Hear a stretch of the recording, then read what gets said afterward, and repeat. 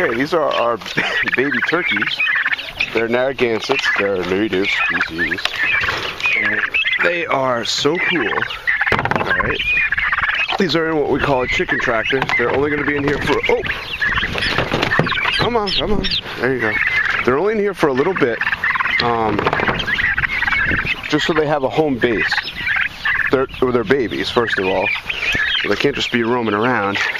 But when they get a little bit bigger, they'll be able to come and go as they please once, we, once they get near the trees. So this is how I get my workout in the morning. I slide this backward. And they move along.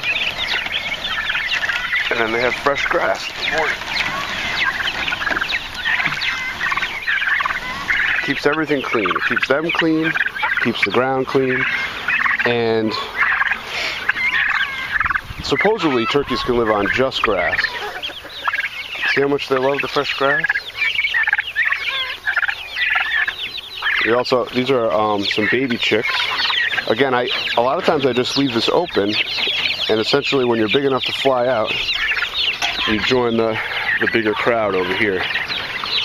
So it's very sort sort of uh,